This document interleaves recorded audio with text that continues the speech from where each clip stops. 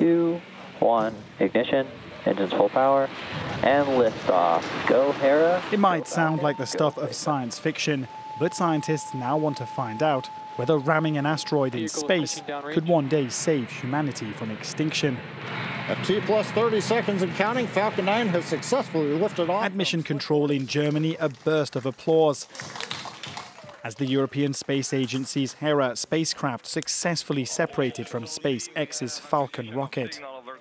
We're en route. It's a flawless launch, flawless communications. We've got a working spacecraft. We're now on the way back to Didymos and Dimorphos. We'll make those measurements and we'll make the world a safer place from the impact of asteroids.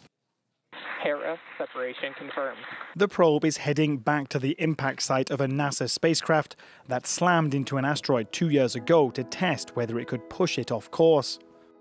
The crash by NASA's DART spacecraft changed the orbit of the asteroid Dimorphos.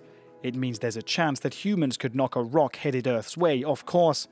Now, scientists want to follow up by seeing up close just how successful the hit was. We deliver, uh, we deliver success for Europe. In this case, we deliver success for humankind because this mission is part of planetary defense and this is our contribution of ESA to humanity to help us in the future protect our planet. But scientists still have a long wait before they can carry out their crash scene investigation. Hera will swing past Mars in 2025 for a gravity boost before finally arriving at its destination by the end of 2026.